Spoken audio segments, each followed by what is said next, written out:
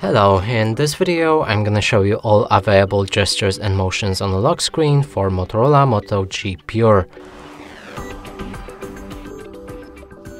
And to do this we'll need to open a settings, scroll all the way down to find the system, here you can see the gestures and now let's check which of them work on the lock screen. First one being put the display to sleep and now if you double tap on the home screen or lock screen it should wake up or lock your phone. And here as you can see this feature doesn't work at all so let's skip it. Next one we have the swipe fingerprint for notifications. This may work on the lock screen but you need to wake it up first like that. Then use the fingerprint sensor to scroll down the notification with the motion like this. And it doesn't work on the lock screen Next up, we have double press power key to either open assistant or camera. You can choose between these two options. So let's uh, try to double press the power key and see if it works. As you can see, it works fine. Now let's move on to the next one, which is system navigation. That doesn't even uh, sits next to the lock screen, so I'm gonna skip it.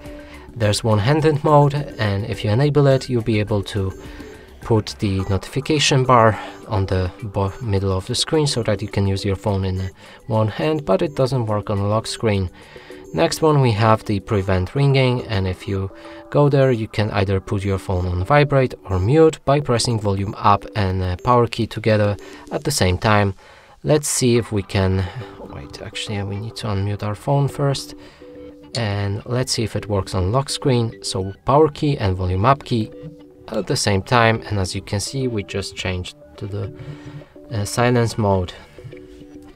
Next up attentive display.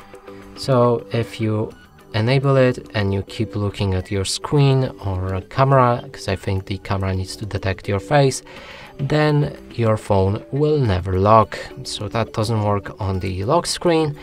Pick up to silence. Now if you get uh, the, the phone call and pick up your phone, the call should be muted. Next, and it works on the lock screen obviously. Next one is flip for flip for do not disturb mode. So if you put your phone upside down, it should enter do not disturb mode and I can confirm that this works for the lock screen but it depends on do not disturb mode on your device.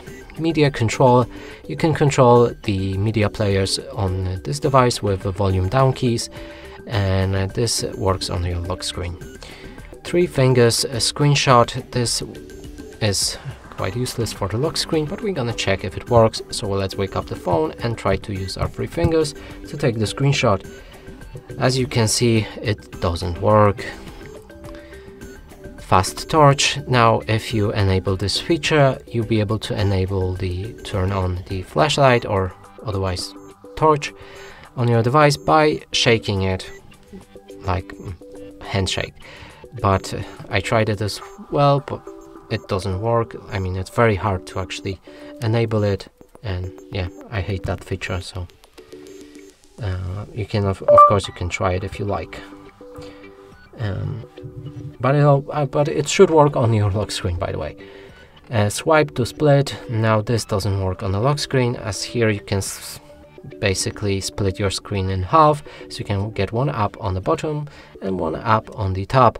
But uh, the apps doesn't work don't work on the lock screen and this feature as well. Last we have lift to unlock and now if you enable it and pick up your device in a hand grip like that, it should wake up the screen just like that.